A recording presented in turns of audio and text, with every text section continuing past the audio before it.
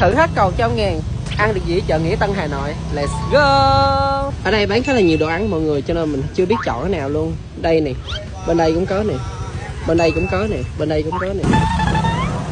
Nộm là gỏi đu đủ không? Bao nhiêu một phần à 30 nghìn. Cho con một phần nhé.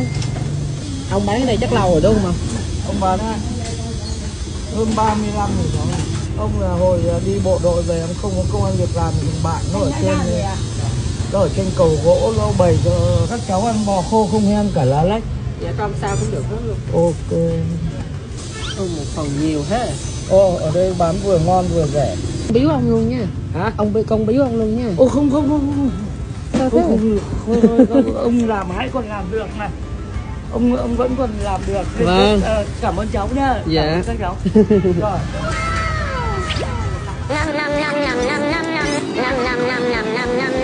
Không có nhiều lắm mọi người cái này bánh gì vậy cô? À bao nhiêu ạ? Hai mươi ngàn một chục. Bán con một chục nhé. Trong con gọi là bánh cam. Nhưng mà tại sao nó màu đỏ là cái gì ta? Mật mía. Còn cái này là đường không đúng không ạ? Đấy con giới thiệu cho cô đây. Vâng. Nhìn cái bánh bắt mắt quá ha. Thơm đường giống như bánh cam nhưng mà cái này nhỏ nhỏ ăn nó không bị ngán mà cái bánh cam trong mình nó hơi bự. Anh em ăn về. Dạ mang về. Xiên nướng bao nhiêu ạ? Xiên 8 nghìn một xiên em. 8 nghìn một xiên. Em lấy 10 cái chị tặng 10 cái. Ba xiên cho em nha 3 xiên à? Cái này phải chở điều tài lắm nó mới vàng vậy. Màu vàng nó không bị cháy. Vâng. Một xiên thế này có giá là 8 ngàn nha. Thì ba xiên này là 25 ngàn.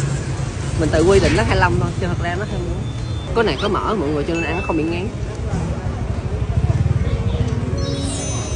này là gia truyền gia đình con hả? Ai truyền cho cô đây. Bố mẹ, ông bà đâu mình giữ tới giờ luôn. Ừ, bây giờ có chuyện với con cháu lại không cháu giờ không làm không chịu làm hả? Cực quá hả?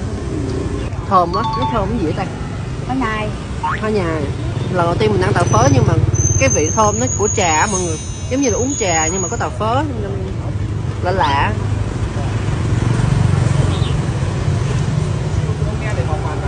Ừ. bà bà không cần thòi cho con con biếu cho bà nhé Đưa tay dùng này Vâng. Nhiều quá. Không có nhiều. À, xin cảm ơn. Vâng. Dạ. Chúc bà buôn mai bán đắt nha. Cô ơi.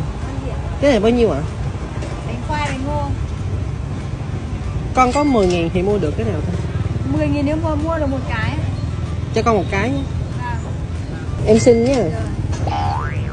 Ủa? Cái này ờ, một chiếc. 8 hai cái bánh sáng này. Chị cho em xin hai cái bánh sáng này nhé đây đây em làm thử thách đó Đỡ Ôi, đỡ thôi. Vâng. tại vì em làm thử thách phải chẳng 10 ngàn mới được. Cảm ơn chị nhiều nha. Bánh rán nha. Đấy là mình tưởng kia là 10 ngàn nhưng mà thật ra 8 ngàn Nhìn hấp dẫn không? Ok vậy là mình đã hoàn thành thử thách rồi nha. Muốn mỹ đâu nữa thì bình luận